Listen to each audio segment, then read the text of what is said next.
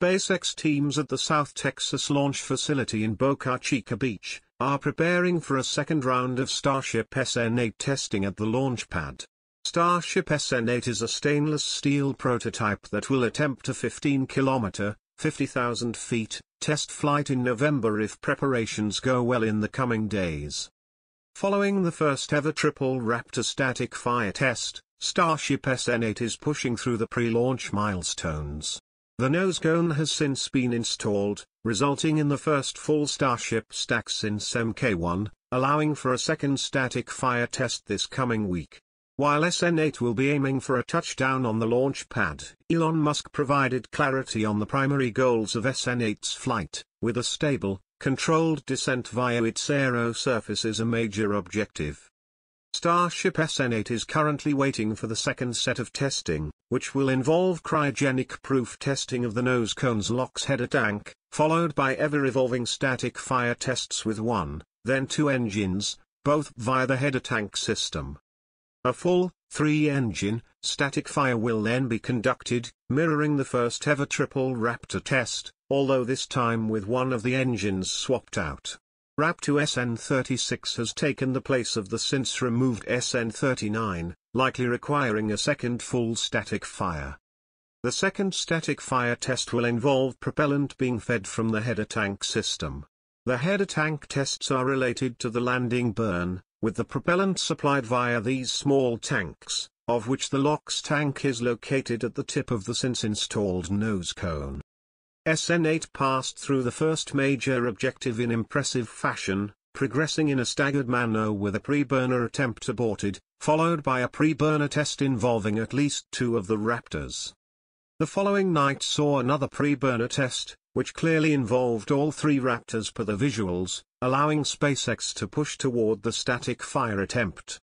However, to get to that point, where SN8 will initiate a Raptor relight, Pushing the aft to face the ground before a smooth touchdown on the landing legs, will require many things to go right during the flight. Lifting off under the power of the three Raptors, SN8 will be aiming for an altitude of 50,000 feet. Then, for the first time during Starship testing, the aero surfaces will come into play, as SN8 glides slash descends, or, as many like to word it, belly flops back toward terra firma. This phase of the test will be a major data point for SpaceX, allowing them to recreate what they've already evaluated in a wind tunnel in the more challenging regime of real life. The big win of engine relight will involve using the header tank system's ability to supply the Raptors. Based on the static fire test plan, it is likely the single, and then dual engine, tests aim to provide ground testing for what is expected to be a single Raptor ignition during the flip, followed by a two-engine landing burn.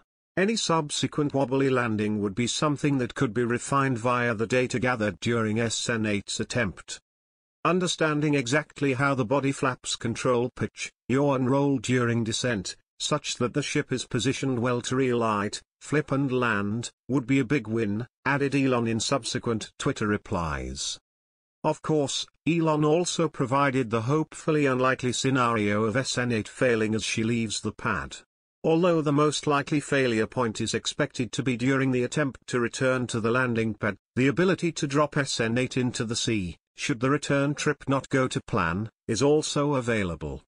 Although, if it fails right at the end, some landing pad repair will be needed to fill in the crater, Elon added.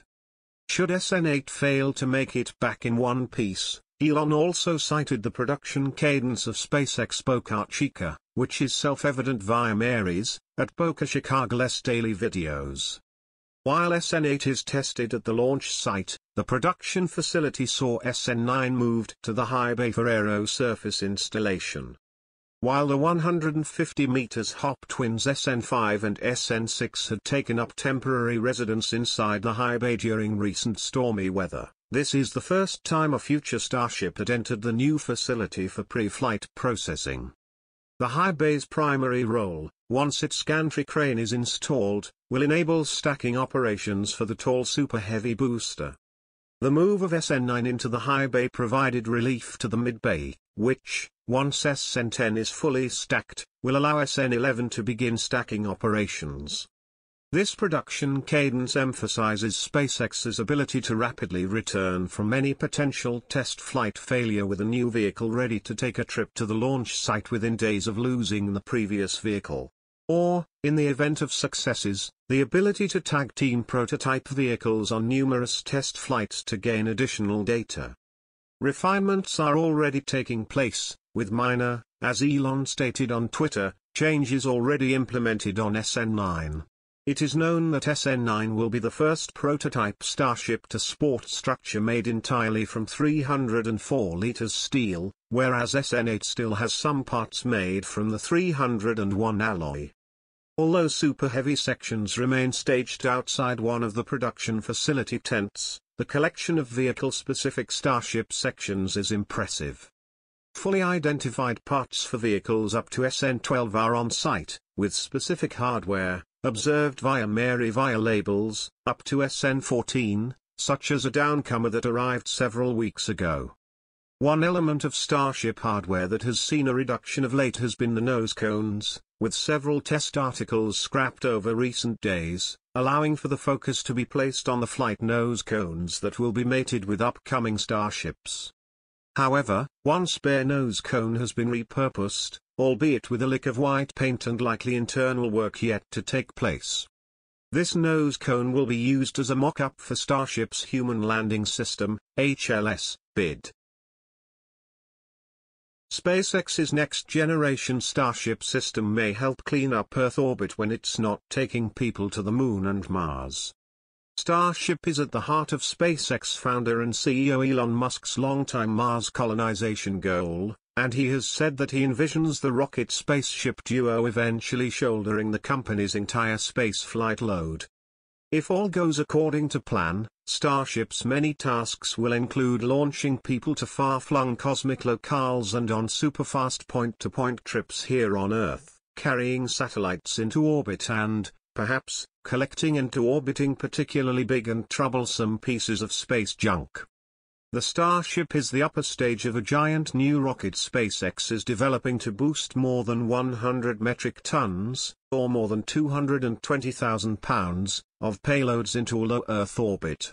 With in-orbit refueling, the Starship's methane-fed engines could propel more than 100 metric tons of cargo to the Moon, Mars, and other deep space destinations, according to SpaceX.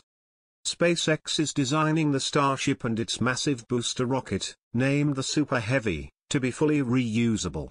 Both vehicles will come back to Earth for vertical landings to be turned around for more missions.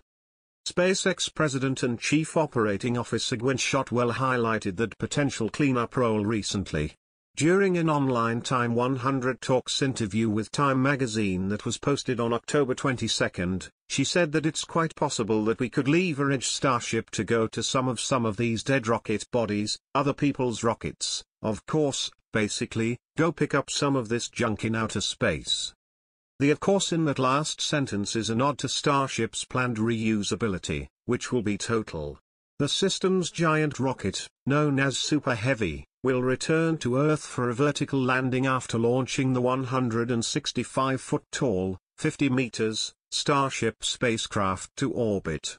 That spaceship, somewhat confusingly known as Starship, will be able to fly many missions once aloft, going back and forth from Earth orbit to Mars repeatedly, for example. Starship will be powerful enough to launch itself off the Moon and Mars, but it will need help to escape Earth's much deeper gravity well. It's not going to be easy, but I do believe that Starship offers the possibility of going and doing that, Shotwell told Time Technology columnist Patrick Lucas Austin, referring to debris mitigation. And I'm really excited about it.